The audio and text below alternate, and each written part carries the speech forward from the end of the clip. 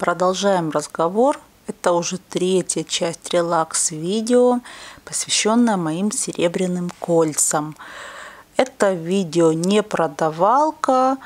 Э, в этом видео я показываю свои украшения, немного рассказываю о каждом из них. Если какое-то кольцо вас заинтересовало с точки зрения эзотерики, с точки зрения того, как их комбинировать, э, какую энергию несет. Ну, камень может быть. Пожалуйста, пишите, я э, буду снимать отдельные видеозапросы.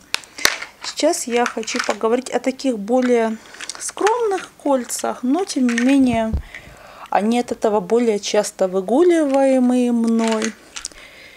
И от этого более легко компонуемые между собой. Начну с вот такого с темным э, жемчугом а баклажан. Это мне еще муж дарил его давно-давно. Казалось, здесь абсолютно полная несочетаемость, непонятные напайки золота, этот баклажановая жемчужина, эти цирконы. Но, тем не менее, я его очень люблю. Я его достаточно часто тоже ношу в, обычной повседневной жизни. Мне оно нравится. Почему-то больше вот для зимнего времени я его использую. И очень люблю сочетать э, темный жемчуг со светлым жемчугом, темные камни со светлыми. То есть вот сочетать темное белое и не янь вот нравится мне. Вот у меня вот такое есть жемчугом кольцо. Я его показывала в предыдущих видео. Вот.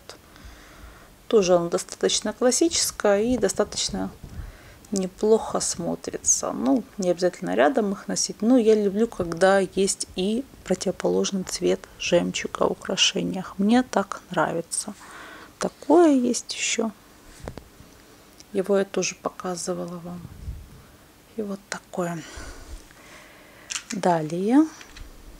Вот такое есть гематитное кольцо. Вообще очень люблю овальную форму. Она очень хорошо с другими сочетается. Гематит вообще неплохо может нормализовывать давление. Если у вас есть склонность, считается, что гематит может как повышать, так и понижать. Ну, если у вас действительно давление скачет, э, одним гематитом вы не отделаетесь, нужно иметь медикаментозное лечение, да, нужно и пищевые привычки менять, это и отказ от соленого, это и снижение жирных продуктов, к сожалению. Ну и вообще стараться не запускать себя до состояния, когда никакое кольцо уже не налазит. Вот. Но бывает такое у всех. У меня тоже давление бывает высокое, к сожалению. Есть склонность. Ну, гематит, поэтому иногда ношу. Э, если я не ошибаюсь, то э, гематит нужно носить э, на правой руке для того, чтобы снижать давление, а на левой, чтобы повышать. Но есть разные версии. Опять же, если вы левша, например, у вас это может работать по-другому. Одни связываются этим, другие связываются работой сердца. Тут нужно смотреть, как гематит сработает в случае с вами. Вот такое кольцо, тоже овальная форма. Это нефрит. Вот не люблю зеленые кольца. Это одно из немногих зеленых колец, которое есть в моей коллекции. Хочу сделать вот такое видео на канале, почему я не люблю зеленые кольца. Хочу понять. С зеленым цветом у меня нормальные, в принципе, отношения. Э, в одежде, например, да, либо в дизайне квартиры абсолютно нормально. Колоды есть зеленые, абсолютно хорошо. Но вот зеленые кольца, зеленые камни, мне с ними сложно. Не знаю. Вот хочу посмотреть это на картах и вместе с вами эту тему проработать. Интересно стало.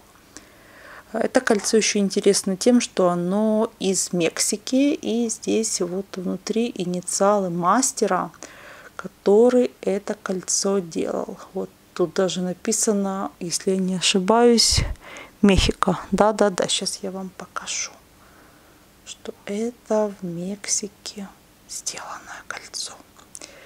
У меня достаточно много есть колец из Мексики. Часть из них бижутерия, часть серебро. Это серебро.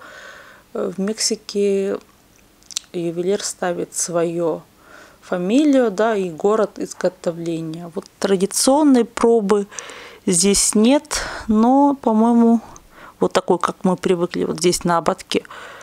Но то что-то 925 он тоже ставит где-то. Ну, нужно смотреть, в общем, вот такое колечко. Дальше. Вот такое кольцо. Тоже девочковое, девочковое. Ну, нравятся мне цветы, нравится мне его комбинировать с другими. Я люблю его носить. Сейчас я вам покажу, как. Почему я люблю цветы? Для меня цветы символ молодости, символ очарования, символ вот э, чего-то цветущего, да, не увядающего, а цветущего. Но отлично для меня. Нравится мне вот так носить и вот это колечко рядом. То есть они по сути перекликаются только по цвету камней. Здесь цветной перламутр, а здесь вот такие вот циркончики, камушки. Очень даже нравится. Ну и с другими его сочетать нравится, с гладкими. По-разному. В общем, я и хвост, и гриву. То есть бывает совершенно обычное банальное колечко может заиграть очень интересно в сочетании с другими. А бывает и не может. И этим кольца интересны. О, сейчас я вам расскажу об этом кольце. Здесь, кстати, тоже вставлен, если я не ошибаюсь, синий лазурит. Это кольцо мне досталось по наследству от мамы. Э, этому кольцу очень-очень много лет.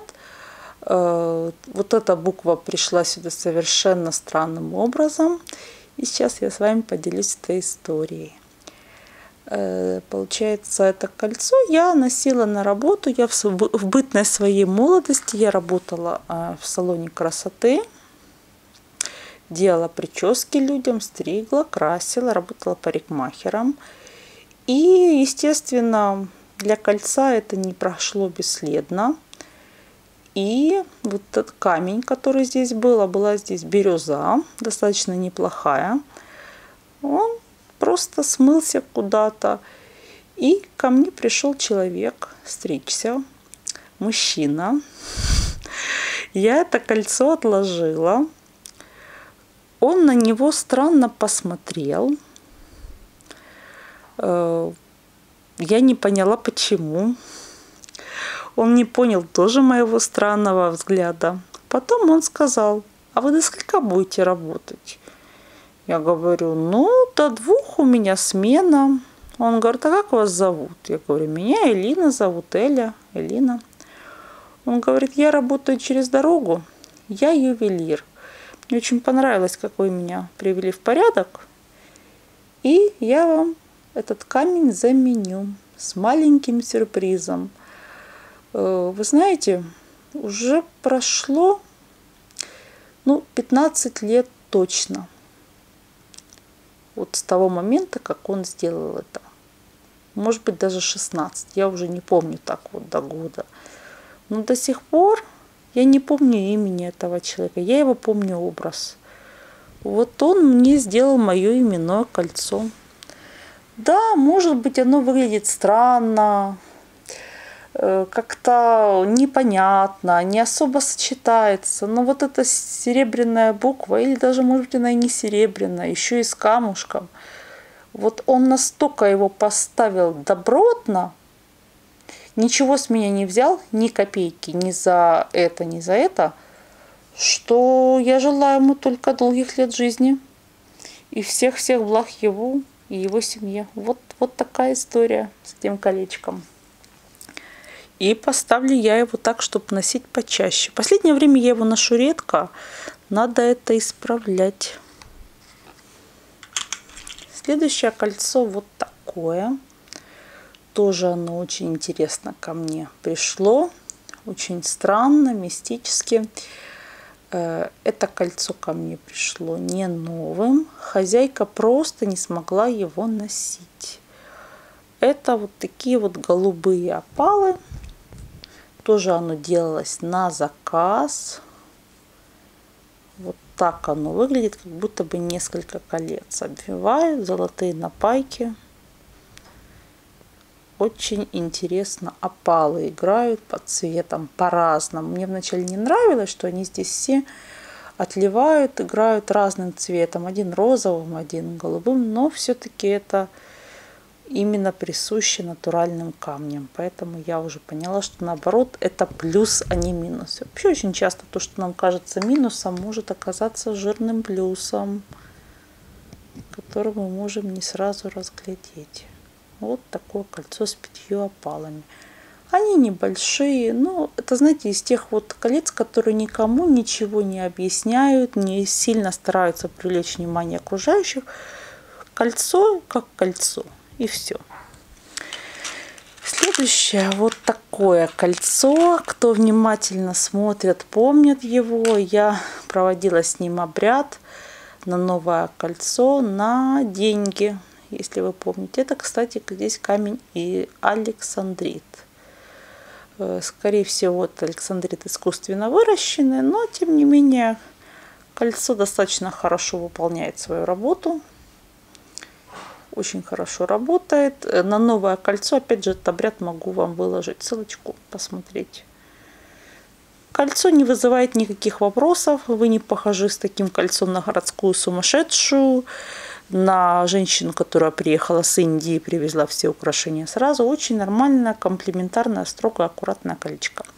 И обряды с таким кольцом можно проводить, и вы будете выглядеть куда более тихо и незаметно, чем с каким-то, например, вот таким, да, или каким-то еще огромным. Опять-таки это на мой взгляд. Вот такое кольцо мне нравится, с ним тоже интересная история. Это кольцо, привезенное из Англии. Это белый перламутр. И вот почему-то, когда я надеваю украшения из Англии, мне гораздо легче учить иностранные слова. Вот не знаю, вот почему, может быть совпадение, может быть я сама себе это внушила, но вот делюсь с вами вот такой информацией. Просто белый перламутр. Тоже оно никому ничего не навязывает. Такие же есть сережки. Вот такой белый квадрат. У Малевича был черный, здесь вот такой белый. Мне оно нравится, в жизни оно выглядит очень интересно и ненавязчиво. Дальше вот такое кольцо с крестом, с надписью, которую боятся очень многие ведьмы. Упс, света у нас нет, вырубили. Видите, как интересно, вырубили свет на слове ведьма. Ну, значит, все. Это мистика. Запишем следующее видео в следующий день. Всем пока!